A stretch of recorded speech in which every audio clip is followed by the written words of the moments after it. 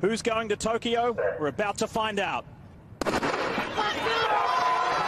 100 is underway. Javianne Oliver, a fantastic start. She's putting the pressure on Richardson. Here comes Sha'Carri. Richardson's going to Tokyo. 1087.